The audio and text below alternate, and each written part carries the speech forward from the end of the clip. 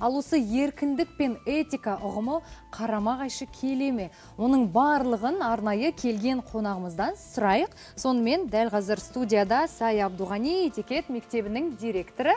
Келе қойыңыз. Иә сая ханым қайырлы таң. келіңіз ортаға жайғасыңыз. Қош келдіңіз. Қош көрдік қайырлы көңіл таң. күйіңіз қалай? Өте тамаша. Керемет бүгінгі таңыңыз бізбен бірге атып жатқаны қуаныштымыз. Енді дәл қазір шеберханаға қарай барып этиканың алғашқы сұрақтарына көшсек. Енді ә, біз білеміз. Шанышқы әртүрлі қасық пышақпен қатар тәрелкенің де ә, су ішетін ыдыстың шарап ішетін ыдыстың да әртүрлі болатынын білеміз. Енді соған қатысты сіздің кіріспеңіз қайсынан басталмақ? Ә, біз мейрамханадағы үстел үстіндегі жағдайдан бастаймыз иә?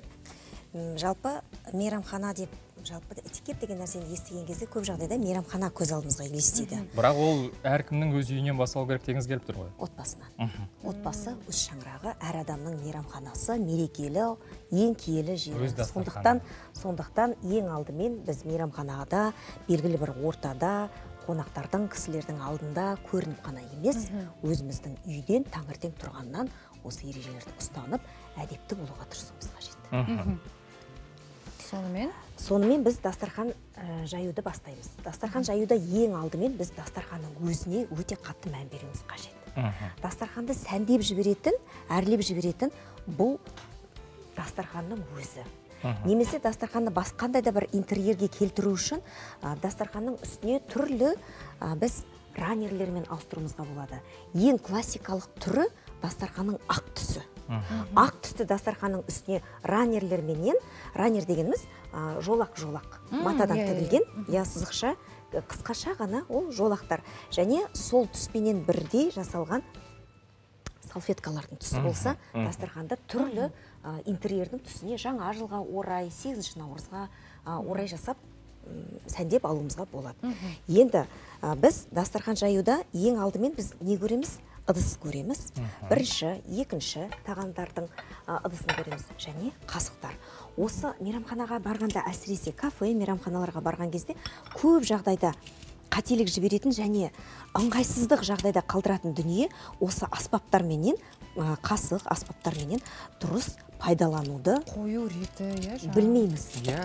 Иә. Шатасып кетесің ғой шатасып қой бір он қасық қана тұрады дейміз ғой. Иә он шанышқы тұрады он пышақ тұрады ненің неге арналғанын білмей жатамыз.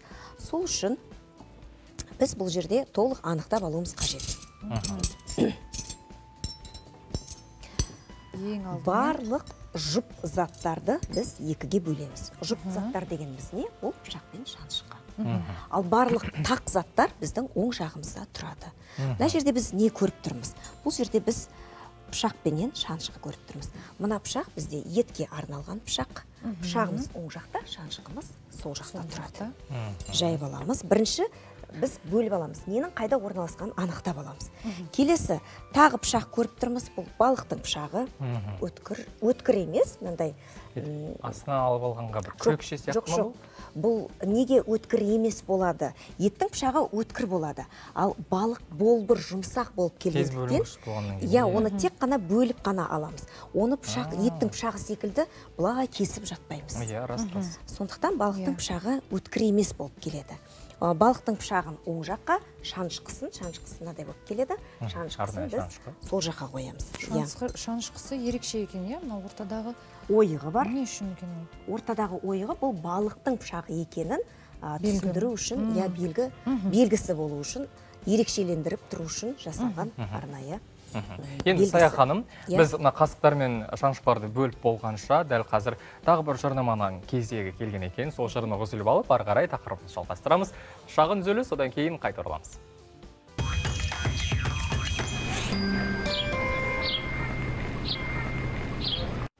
Қайырлы таң достар сіздермен бірге оян таңғы хабары.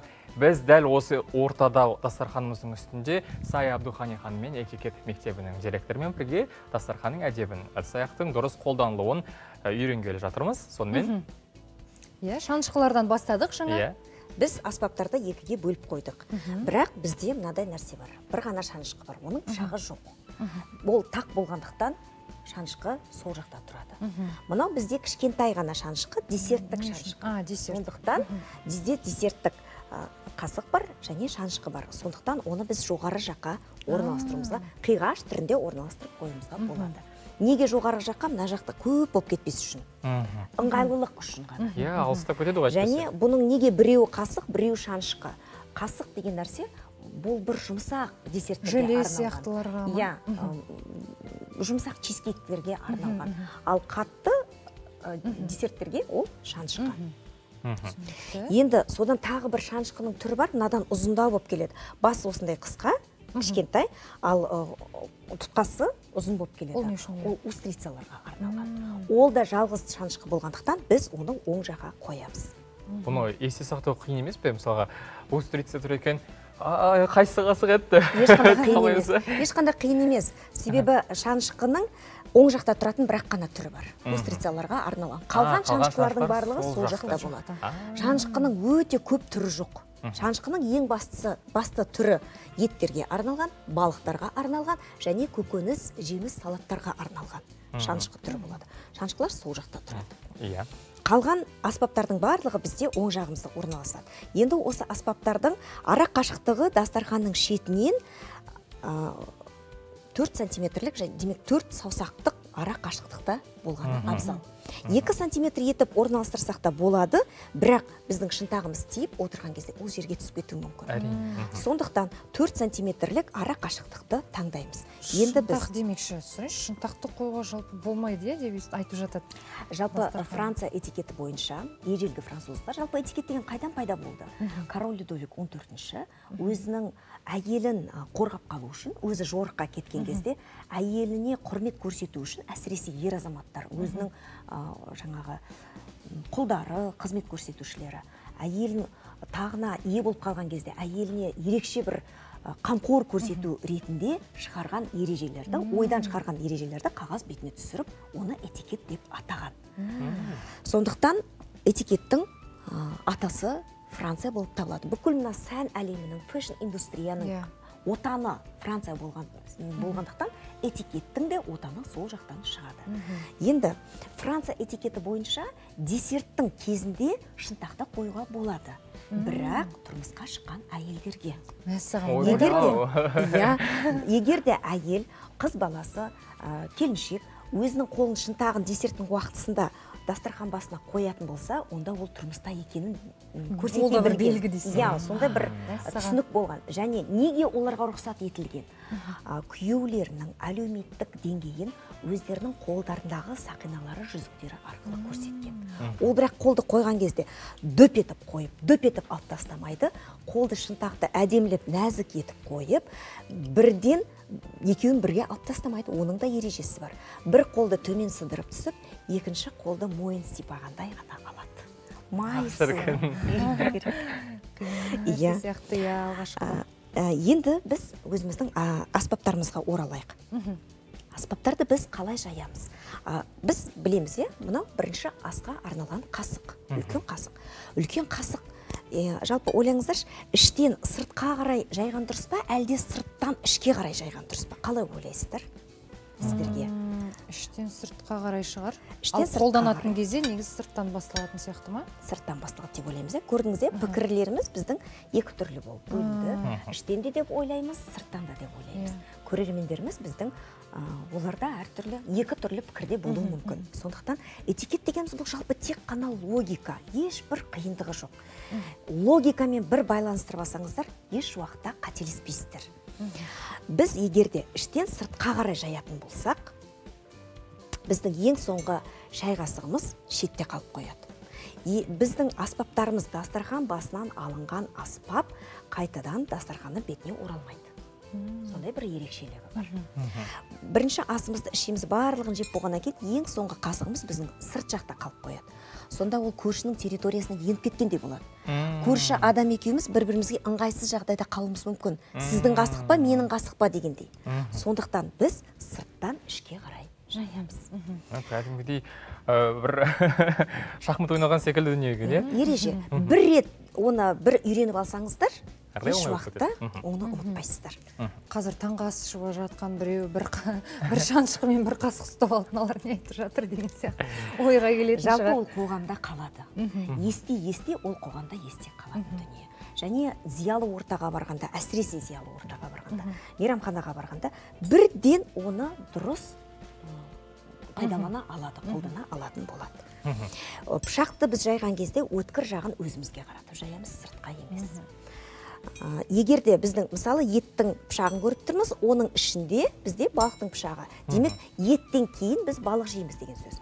Демек біздің оң, сол жағымызда да алдыменен ет келеді сырт жағында еттің шанышқысы тұрады іш жағында балықтың шанышқысы тұрады енді тағы бірден бір жіберетін үлкен бір қателікті айтайыншы біздің қоғамдағы ә, осы бір кәдімгі бір глобалды проблема. Қандай? этикеттің проблемасы. Зиялы ортада болсын қандай жағдайда болсын үзіліс уақытысында мен айттым ғой. Ешбір аспап дастархан басынан алынғаннан кейін пайдаланып болған соң орнына қойылмайды, болмайды. иә. Жіберетін қате. Үзіліс уақытысында екінші тағам болсын. Үзіліс уақытысында тамақ ішіп отырған кезде екінші ұшын дастарханның басына тигізіп қояды. Былай қойып қояды. Бұл қате. Еш уақытта былай жасамаңыздар. Мынау деген сөз нені білдіреді? Этикеттен алшақ екенімізді білдіреді. Этикетті білмейтінімізді білдіреді. Сондықтан үзіліс уақытысында міндетті түрде өткір жағын өзімізге қаратып шанышқы екеуін сағат бес пенен жетінің аралығында және басы сағат 12-нің бағытында қарап тұру керек үзіліс уақытысында осылай қоямыз. Үзіліс. Үзіліс. Шал- солардың негізі қою тәсілдерінің өзінің бір белгісі бар иә? Белгісі бар. Тіптен мына текстильді салфетканың өзі даяшы менен а, қонақтың арасындағы көрінбейтін сұхбат болып саналады.